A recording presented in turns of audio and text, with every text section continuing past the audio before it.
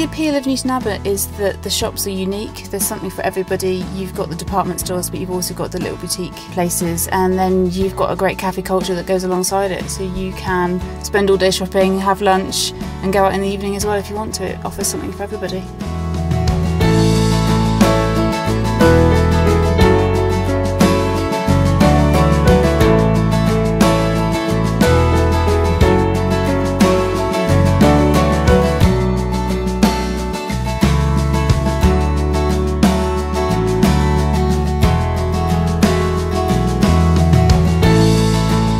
People don't realise that you've got all these activities on the doorstep of Newton Abbot. You can do kayaking, sailing, you can go biking, you can go walking, you can go running, and it's all within a central area.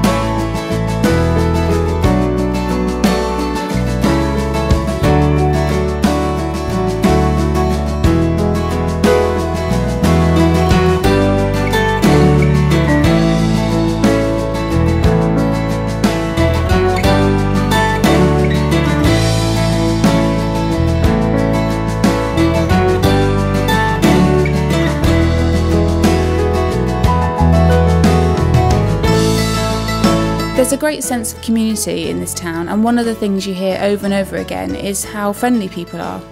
There are all sorts of open spaces and play areas and events that happen throughout the year that really draw people together.